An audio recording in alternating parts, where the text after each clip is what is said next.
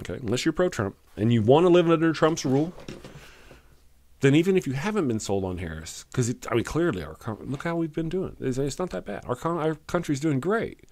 Lots of good ways. Even if you disagree with a lot of things, we're doing, doing really good. And when you look at like the the dumpster fire that our country had become, the body bags, the you know toilet paper, the the Donald Trump denying science, Donald Trump getting the cooties and flying around with his helicopter and taking his mask. You know, if you want to live under all that again, then vote Trump. But if you don't, then really the only option is to not withhold your vote. Because here's why. Here's why. Back in the last election, or before, in the last Trump election, whenever he uh, he beat Hillary Clinton, allegedly, if I remember right, Hillary said something about she didn't need the progressives. I think she was talking about like the Jill Stein people, but whatever. And there were quite a few people that were like, oh, you don't need our vote? Well, okay. And we're going to hold our vote. And I'm not really sure about the numbers, but I could be wrong. I think the numbers of votes that she potentially lost from that could have given her the election. And ouch, darn, she learned her lesson, didn't she? Didn't she learn her lesson? Damn, bad Hillary. But Hillary's like a zillionaire living off in some country club in some place and doing something. I mean, I don't left left wing, right wing, I don't care. They're all zillionaires compared to us, right? So it didn't hurt her at all, but it did hurt progressives. It hurt progressives for years to come. For years to come, people who had progressive mentalities or issues that they were fighting for were under Donald Trump's thumb as he tried to remove all the riots or do as much harm to these people as he could. Yes, they will have withheld their vote. And they showed Hillary Clinton. But what but who did it hurt? It hurt them.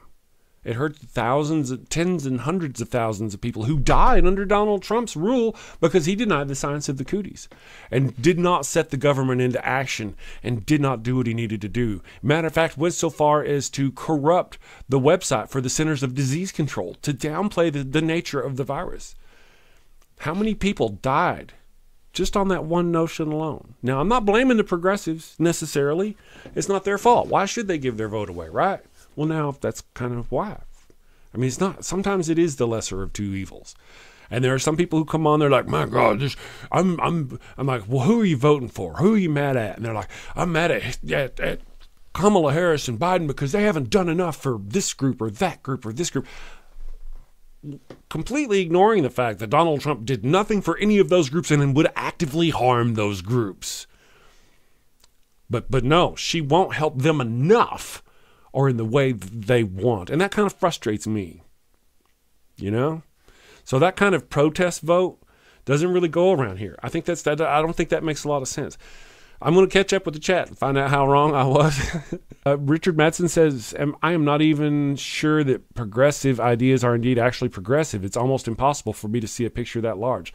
Those 30,000 potential views are not promoted by, you know, it's just that, you know, I don't know how they how they view their their idea of progressive and who took offense to it and who didn't. I'm using that as an example of where the protest vote gets you. You know, that's that's kind of where the protest gets you. It brings me back to these those two uh, two of my favorite examples. One of them I came up with is you've got a car over here. The car's got a squeaky window.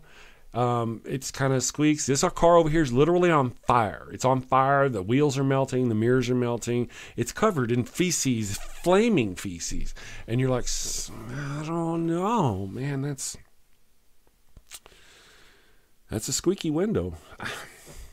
Can you tell me more about the window? Can we maybe get some WD 40 on that? Or that that's what's going on. That's what's happening. Uh, my other more favorite example, I, I, stole this from somebody. I don't remember exactly all the details, so I kind of, I, I may have come up with half of it. I don't know. I don't know, but it's a good one. It's a good one. Over here, you've got a ham sandwich.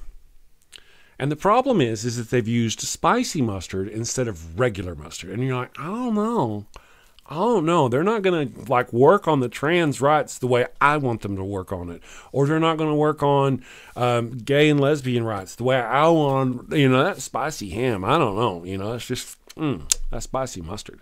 I'm not talking about. I don't trying to single out the, the trans community or the or the uh, gay and lesbian community. You know what I'm talking about. Anybody out there who's going to withhold their vote because Kamala Harris isn't addressing their particular issues good enough. That's the problem. I got the ah, spicy ham over or spicy mustard over there. Now on this side you've got Donald Trump, and it's like a sandwich. It's like a shit sandwich. It's real feces, like you know, I don't want to say, you know, diarrhea kind of, you know, it's not the good stuff. It's got glass in it and all kinds of things. It's mixed up and there's like, you know, all kinds of just the most disgusting things in there. And it's, you know, it's just disgusting and horrible. Flies all over it.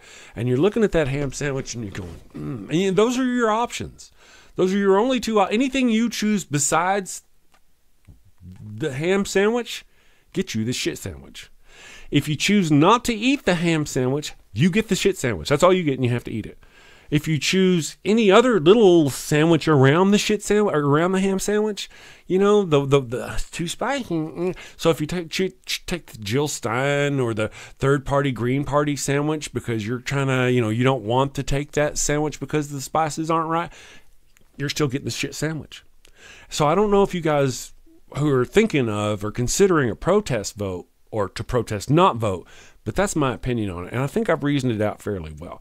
And I can use the progressives from the last election, Hillary versus Trump, to, to bolster my argument that if you withhold that protest vote, it will hurt you. It won't hurt the candidates you're trying so much as it'll hurt you. That's my thinking.